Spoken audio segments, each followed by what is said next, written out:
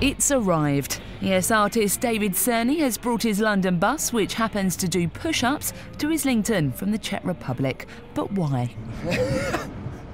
Having fun, you know, sort of enjoyment. You know. And of course, you know, it's actually meant for all fat Americans, you know, they could sort of exercise to get, you know, skinner.